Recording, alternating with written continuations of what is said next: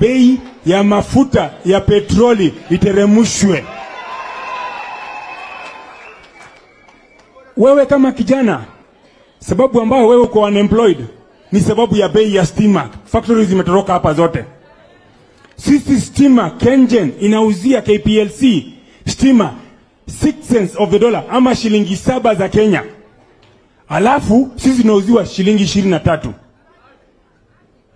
Sababu ya sisi kuzuiliwa shilingi na tatu ni sababu kuna kitu inaitwa IPP ama Independent Power Producers.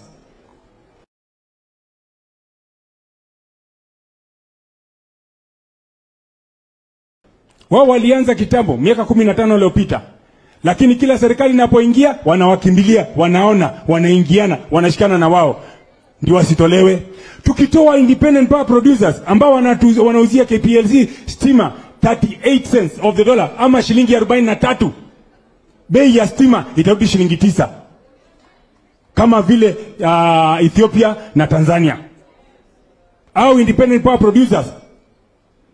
Wanalipwa mabilioni kila mwisho wa mwezi. And yet kwa kulipa tu bilioni sabini na nane ama themanini na tano. Kulingana na vile watakavyolewa, tunaweza kuwalipa wakaondoa, na stima yako ambayo itakuwa inanunuliwa kutoka Kengen kwa shilingi sita ama shilingi, shilingi 6 cents of the dollar. Ama shilingi nane za Kenya, wewe utauziwa stima shilingi kumi.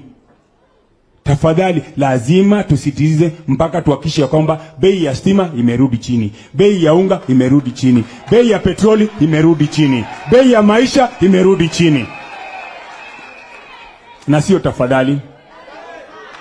Kwa hayo, kwa hayo mengi nataka kum- kumkaribisha minority leader wetu kiongozi wetu kwa bunge Mheshimiwa Opiyo Wandai. Asante.